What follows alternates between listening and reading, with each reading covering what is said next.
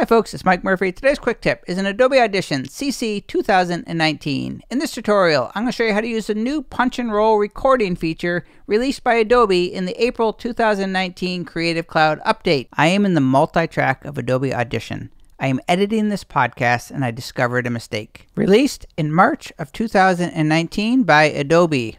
It's supposed to be released in April of 2019. For that, I'm going to use the punch and roll. So I'm going to drag the current time indicator or the scrubber to the beginning of that little segment. This is called the punch in point because we're going to punch in the new recording from here. With the current time indicator at the punch in point, you're going to come over here and you're going to click on this R so you can arm this track for recording.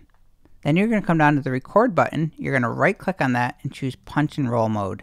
You'll see an arrow over the record button when it's in punch and roll mode. Now it's time for roll.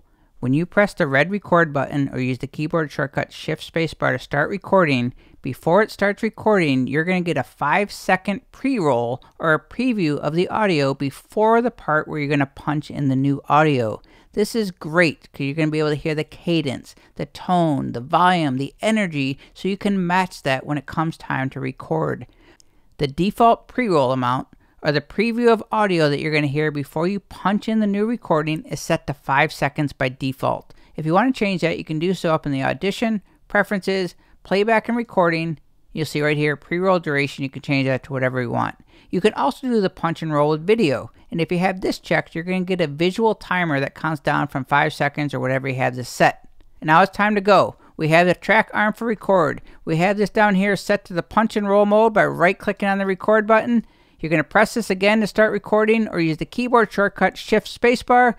You're going to hear the five seconds of pre-roll. Then when that's done, I'm going to start recording. So here we go. 2019. In this tutorial, I'm going to show you how to use the new punch and roll feature released in April of 2019 by Adobe. Spacebar to stop, so you can record take after take until you get your punch in just right. All the takes are just going to sit right on top of each other. You see here, this one's just sitting on the original, so that's untouched. All of your takes are going to be over here in the file panel. When you find the take that you want, you can just delete all the other ones. To really speed up the punch and roll editing, I'm going to create a keyboard shortcut for what is called punch again. To do so, you're going to go to edit, keyboard shortcuts, do a search for punch, right here, punch again. Mine is set up to Option Command P. So here I go. I'm going to press Option Command P. And it's going to jump right to the beginning of the pre-roll. 2019. So use your punch again keyboard shortcut whenever you want to quickly start the punch and roll process over again.